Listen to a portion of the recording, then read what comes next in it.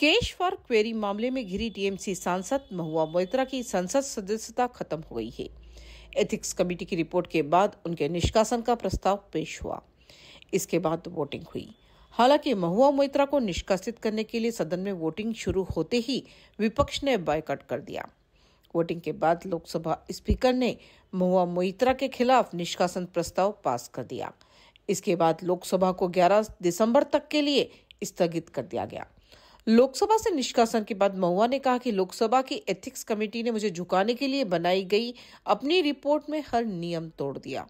इससे पहले भी चर्चा के दौरान लोकसभा स्पीकर ओम बिरला ने महुआ मोइत्रा को सदन में बोलने की इजाज़त नहीं दी थी।